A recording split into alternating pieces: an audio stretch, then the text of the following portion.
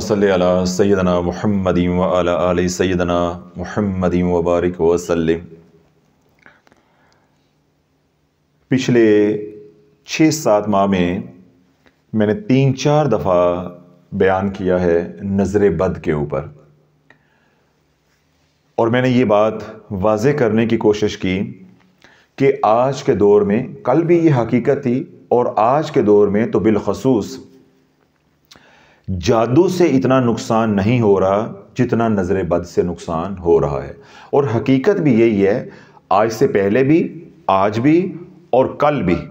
जितना नुकसान नज़र बद पहुंचाती है, उतना जादू नहीं पहुंचाता। अभी पिछली जुमेरात को एक लाहौर से फैमिली आई। जब मैंने उनके मामला को सारा देखा तो क्या था कि वो उजड़े हुए थे और मसला क्या था? सिर्फ़ नज़र थी। सिर्फ़ क्या थी? नज़र थी। इसी तरह एक फैमिली हमारे पास खारियाँ से आई। उनकी बच्ची जो है, वो डॉक्टर बन गई। अपन उन्होंने रिश्ता मांगा। इन्होंने इनकार कर दिया। पहले बच्ची नज़र में थी, फिर साथ जादू भी मिल गया। तो अब वो बच्ची जो है वो मौत के गड़े में उतरने वाली छब्बीस सताईस साल की वो बेटी है और कुर्सी पे बैठी हुई थी और ऐसे सूख के कांटा हुई थी और माँ बाप की एक ही एक औलाद है, बेटी ही बेटी है।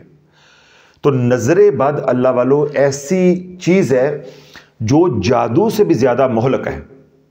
जादू जितना भी किसी मुशरक ने किया हो, किसी बड़े बदबख्त ने किया हो, जितना भी वो शैतानियत के मैदान में ताकत रखने वाला हो, यानी डंडे वाला आमिल हो, जादू असर करते करते वक्त लेता है। जादू का असर होते होते वक्त लगता है। जादू ऐसे नहीं होता कि किसी ने भी किया हो, किसी भी दर्जे का हो, कि उसने फूंक मारी और आप जो है वो बिस्तर पे पड़ गए।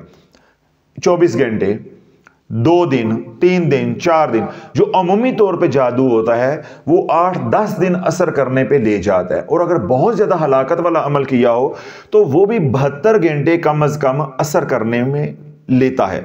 लेकिन अल्लाह वालों, नज़र बद ऐसी चीज़ है कि सुबह लगी तो शाम को आपको बिस्तर पर डाल देगी, शाम को लगी तो रात को आपको कब्र में भी उतार देगी। इसलिए हजूल इस्लाम ने शाह फरमाया कि इंसान को नज़र लगे तो उसको कब्र में उतार दे, ऊँट को नज़र लगे तो उसको हंडिया में उतार दे। हजूल इस्लाम का शाद पाक है, अगर तकदीर पर कोई चीज़ सबकत ले जाती तो वो नज़र थी, वो नज़र थी। अब नज़र अल्लाह वालों दो तरह की है। एक है बुरी नज़र और एक है अच्छी नज़र। समझ आ रही ना? एक है अच्छी नज़र और एक है बुरी नज़र। बुरी नज़र को हम आम ज़ुबान में क्या कहते हैं? काली नज़र। या हम कहते हैं नजरे बद। जब नजरे बद है, अब तोजो रखिएगा, नजरे बद है, हदीस से भी वो साबित है, हमारे मुशाहे में भी वो बात साबित है। तो जब बद है तो नेक क्यों नहीं है? हर तस्वीर के दो रुख होते हैं ना, सिक्के के दो रुख होते हैं। अगर बद है तो इसका मतलब नेक भी है, और अगर नेक है तो इसका मतलब बद भी है। तो अल्लाह आज उम्मत की जहालत इस दर्जे पे पहुँच गई हुई है कि हम नज़र बद के तो कायल हो गए, शरीयत को पढ़ के, अहदीस को पढ़ के, या अपने तजर्बे और मुशाहे की बुनियाद पर ठीक है कि नज़र बद लगती है। भाई, अगर नज़र बद लगती है तो नज़र हक भी तो कहीं है ना। नेक नज़र भी तो कहीं है ना। तो अल्लाह जिस तरह हम नज़र बद से बचने की कोशिश करते हैं और करनी भी चाहिए, इसी तरह हमें नज़र हक या नेक नज़र को नज़र लगवाने की कोशिश भी करनी चाहिए कि मुझे अल्लाह वालों की नज़र लग जाए, ताकि मैं नज़र बद से भी महफूज हो जाऊँगा और जादूगरों से भी महफूज हो जाऊँगा, हसरत की नज़र से भी महफूज हो जाऊँगा। जिस तरह जो दुश्मन होते हैं, मुखालफीन होते हैं, हासदीन होते हैं, या जादूगर होते हैं, कहान होते हैं, उनकी नज़रें बद लगती है। इसके बारक्स जो अल्लाह वाले होते हैं, आपसे मुखलस होते हैं, उनकी नज़रें हक भी लगती है, नेक नज़र भी वो लगती है। मुला अलिकारी रहमत के पास एक शख्स आया और आकर कहने लगा कि, हज़रत, मेरे बच्चे को ना दम कर दें। क्या कर दें। दम कर दें। तो आपने मुला अली कारी रहमत ने पूछा कि बच्चे को क्या है? तो बाप था, बाप ने अर्ज़ की कि हज़रत ये बार बार जो है ना बीमार हो जाता है, इसको नज़र लग जाती है। जाग रहे हैं? इसको नज़र लग जाती है। तो मुल्ला अली कारी रहमत फरमाया कि अगर इसको बार बार नज़र लग जाती है तो इसको किसी अल्लाह वाले की नज़र लगवा दो। इसको किसी अल्लाह वाले की नज़र लगवा दो। तो उस शख्स ने पूछा, यानी बाप ने पूछा कि शेख, अल्लाह वालों की नज़र में क्या होता है? उससे क्या होगा? तो आपने फरमाया कि अल्लाह वालों की नज़र में ये तासीर होती है कि जब उनके पास कोई गाफिल आता है तो वो जाकिर बन जाता है। बेनमाजी आता है तो नमाजी बन जाता है। गुनागार आता है तो नेकोकार बन जाता है। जानवर आता है तो इंसान बन जाता है। मुसलमान बेअमल आता है तो बामल बन जाता है। काफर आता है तो वह मुसलमान बन जाता है। तो अल्लाह वालों की निगाह में उनकी सोबत के अंदर ये बरकत होती है, तासीर होती है कि जो उनकी सोबत में बैठता है तो अल्लाह के ज़िक्र के जो फिज़ो बरक़ात होते हैं, या अल्लाह की जो रहमतों का नजूल उनके ऊपर होता है तो जो उनकी सोबत में भी बैठते हैं तो वो भी फैज़याब हो जाते हैं। तो जब नज़र हक लगती रहेगी नेक नज़र लगती रहेगी तो नज़र बद का असर अगर होगा भी तो वो ज़ायल होता जाएगा। ये आसान तरीका है कि जब नज़र बद किसी को बार बार लगती हो तो उसको किसी अल्लाह वाले का मुरीद करवा दें, ताकि जो वो ज़िक्र अजकार बताएँ, वो आप करते रहेंगे तो इन आप नज़र बद से भी महफूज रहेंगे। अगली बात, नज़र बद लगने की कई वजूहत हैं। ठीक है? एक तो यह है कि एक बंदा आपका मुखालिफ है, वो आपसे हसद करता है। जितना उसके अंदर हसद ज़्यादा होगा, उसकी नज़र भी उतनी जहरीली ज़्यादा होगी। समझ आ गई? जितना उसके अंदर हसद ज़्यादा होगा, उसकी नज़र भी उतनी जहरीली ज़्यादा होगी। जिसके अंदर नेगेटिव एनर्जी जितनी ज़्यादा होगी, वो उतना ही आपके ऊपर परताव भी गहरा डालेगा, मज़बूत डालेगा और आप बीमार हो जाएँगे। आप बीमार हो जाएँगे। बसा औकात अल्लाह वालों ये भी होता है कि जो मुस्बत नज़र भी है, वो भी इंसान को बीमार कर देती है। वो भी इंसान को बीमार कर देती है। आप, अल्लाह वालों की नज़र किसी के ऊपर हो गई। आपने देखा कि बसा औकात क्या होता है? किसी के ऊपर तवज्जो डाली तो उसके ऊपर हाल तारी हो गया। तो इसका क्या मतलब है कि उसके ऊपर जो तवज्जो है, उसकी ताकत ज़रा बढ़ गई, उसकी तासीर बढ़ गई, उसकी बर्दाश्त से ज़्यादा हो गई तो वो किस हाल में चला गया? वजद की हाल में। उसके ऊपर कैफ तारी हो गया। जिस तरह अक्सर बच्चों को अपनी माँ की नज़र लग जाती है। अब माँ की नज़र नज़र बद तो नहीं होती। माँ की नज़र नज़र बद तो नहीं होती, लेकिन माँ की नज़र भी लग जाती है। इसी तरह अमूमी तौर पे जो नज़र जानलेवा होती है, जिससे हलाकत अल्लाह न करे हो जाती है, या इंसान बिस्तर मर्ग पे पड़ जाता है, कारोबार है तो वो तबाह हो जाता है, सेहत है तो वो तबाह हो जाती है रिश्ते हैं तो वो तबाह हो जाती है। मैंने बीसियों बच्चियों को देखा यहाँ आई कि वो माशाल्लाह खूबसूरत थी। उनके हुसन की वजह से लोगों ने जल के जब नज़र लगाई, जादू किया, उनके चेहरों पर दाने निकल आए, काले निशान पड़ गए, चेहरा स्याह हो गया, वो बदनुमा हो गए। ठीक है? तो अमूमी तौर पर जो नज़र लगती है, यानी जो हलाकत वाली नज़र होती है, वो हासदीन की होती है, वो किसकी होती है? मुखालफिन की होती है। जितना वो आपसे हसद ज़्यादा करता होगा, उतनी नज़र ज़्यादा लगेगी, पहली बात। दूसरी बात नज़र लगने की क्या है? कि हमारी खुद नुमाई कि हम लंबी लंबी छोड़ते हैं लंबे लंबे काम करके दिखाते हैं। घर में बर्थडे है तो सारे ज़माने को सोशल मीडिया के ज़रिए बता रहे हैं। घर लिया है तो घर का टूर हो रहा है। गाड़ी ली है तो वो सारे ज़माने को दिखा रहे हैं। मोटरसाइकिल ली है तो वो सारे ज़माने को दिखा रहे हैं। कोई अल्लाह ने औलाद की नेमत दी है तो सारे ज़माने को दिखा रहे हैं। बच्चे बच्चे की शादी की तो सारे ज़माने को दिखा रहे हैं। भाई, अब जब सारे ज़माने को दिखाओगे तो किस किस की नज़र के आगे हाथ रखोगे? यही बात शरीयत मना करती है कि शेखी ना बिखारो। तो लव जब तक आप एहतियात नहीं करेंगे, सारे काम वज़ाइफ से नहीं बनेंगे। अगर आज नज़र बद लगी है तो आपने उसका इलाज कर लिया, लेकिन आप अपनी रवश से बाज नहीं आ रहे तो कल दोबारा नज़र बद लग जाएगी। तो इसलिए एहतियात भी ज़रूरी है कि अपनी खुशियाँ सिर्फ़ उन लोगों के साथ शेयर करो, जो वाकई आपकी खुशियों में खुश होते हैं, जिस तरह माँ बाप हैं। जब उन लोगों के साथ अपनी खुशियाँ शेयर करना शुरू कर दोगे, जो आपके गमों में राज़ी हैं तो उनको ठंड पड़ेगी। वो तो बदुआएँ भी करेंगे, काला जादू भी करेंगे, नज़र भी लगाएँगे। तो इसलिए अल्लाह वालों, आज हम जो बर्बाद हो रहे हैं, वो उतना जादू से बर्बाद नहीं हो रहे, जितना हम नज़र से बर्बाद हो रहे हैं। और नज़र लगवाने में हमारा अपना किरदार ज़्यादा है। हमारा अपना किरदार ज़्यादा है। देखिए खातन को मैं देखता हूँ, अपने हाथ में मोबाइल पकड़ा हुआ है।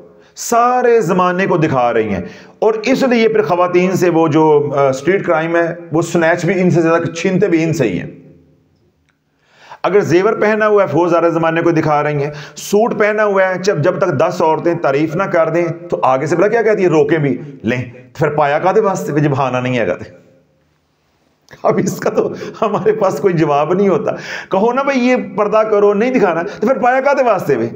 अब भाई जेवर है, उसको यूँ यूँ करके दिखाएँगे। चूड़ियाँ, ये देखो मैंने फलान जगह से ली है। ये लिपस्टिक है, मैंने फलान जगह से ली है। ये सूट है फलाम ब्रांड का, ये जूता है फलाम ब्रांड का।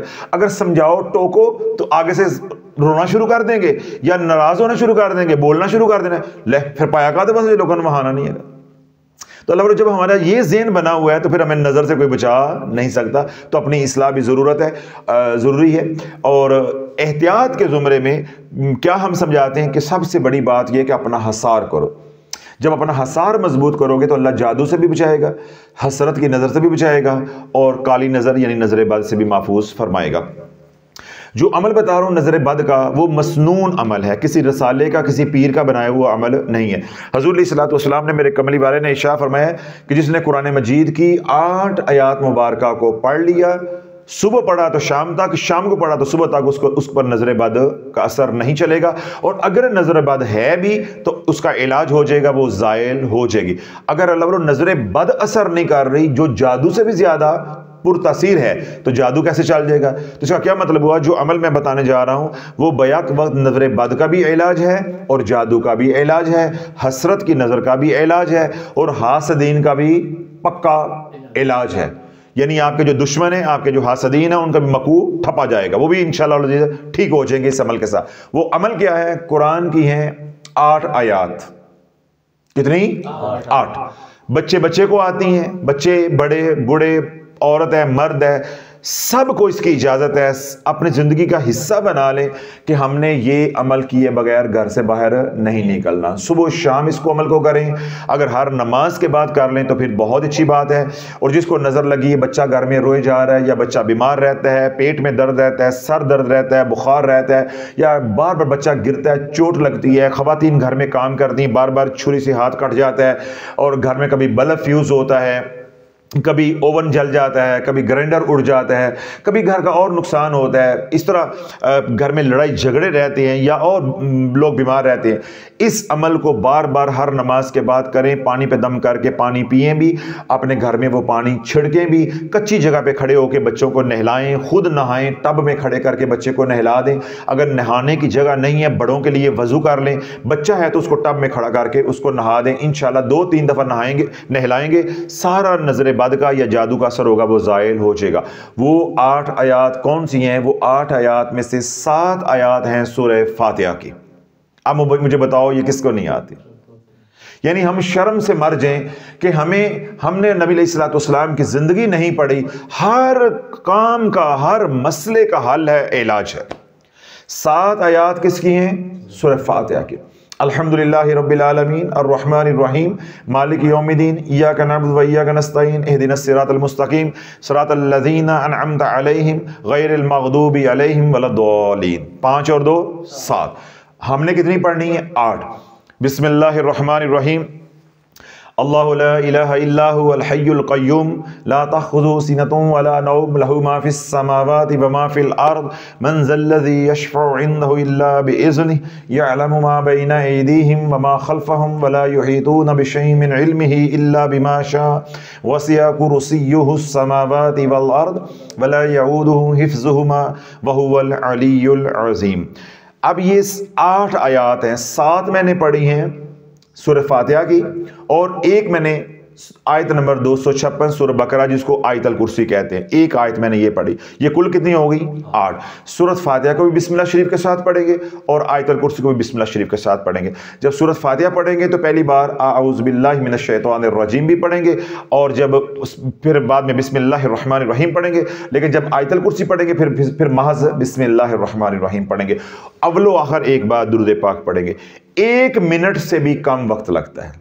कितने मिनट? एक मिनट से भी, मैंने भी पढ़ के भी आपको दिया, एक मिनट से भी कम जोन सा मर्ज़ी दरुद पाक अवलो आखिर पढ़ लें। और एक बार सूरत फातिहा और एक बार आयतल कुर्सी, ये आठ आयात है, इनको पढ़ के ऐसे हाथ पे फूंक मारना, जहाँ तक ये आपका हाथ जाएगा, ये सारी की सारी हीलिंग एनर्जी पॉजिटिव एनर्जी आपके बदन में चली जाएगी नेगेटिव एनर्जी जो है वो डाइल्यूट हो जाएगी, वो जायल हो जाएगी। जादू है तो वो टूट जाएगा, नज़र बाद है तो उसका असर जायल हो जाएगा। हर नमाज़ के बाद करें, पानी पे दम करके बच्चों को पिलाएँ, खुद पिए, घर में हंडिया में डालें, दूध में डालें, और अगर नज़र का या जादू का असर ज़्यादा है तो फिर मैंने क्या कहा कि बच्चों को नहलाएँ भी और ख़ुद नहाएँ भी। तमाम हजरात को इजाज़त है, जो सोशल मीडिया पर सुनने, उन्हें भी इजाज़त है।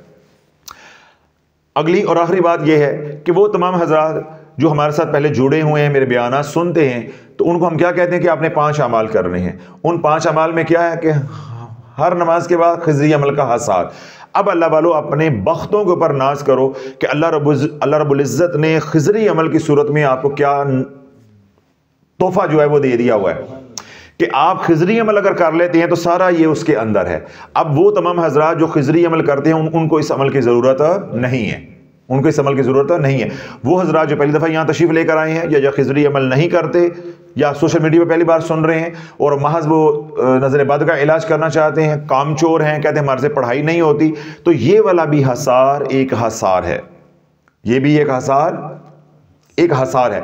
तो इसको हसार की नीयत से भी कर सकते हैं, इलाज की नीयत से भी कर सकते हैं जादू के इलाज की नीयत से भी कर सकते हैं नज़र बाद के इलाज की नीयत से भी कर सकते हैं। हर तरह आपको इजाज़त है। हर नमाज़ के बाद आठ आयतें कुरान मजीद की पढ़नी है, बिस्मिल्लाह शरीफ के साथ। अवल आखिर एक बार जोन सा मर्ज़ी दरुद पाक पढ़े। अल्लाह मुझे भी, आपको अमल की तोफ़ी ता फरमाए। अल्लाह हमारे मुखालफिन हासदिन की नज़र बद से हमें महफूज फरमाए। जादू टूटने के वार से हमें महफूज फरमाए। हमारे जान की, माल की, औलाद की, इज़्ज़त की हिफाजत फरमाए। वो तमाम हजरात जिन्होंने दुआओं के लिए कहा, उनके हक़ में हमारे इल्तजाओं को, दुआओं को दरख्वास्तों को कबूल मंजूर फरमाए। घरों में हस्पतालों में, जहाँ कहीं भी बीमार हैं, बदनी बीमार हैं, रूहानी बीमार हैं, अल्लाह सबको शिफा कामला अजला अता फ़रमाए। सुबहान रबिक रबिल्ज़त अम्मा यसफ़ोन वसलामसलिन वलहमदिल्ला रबालमीन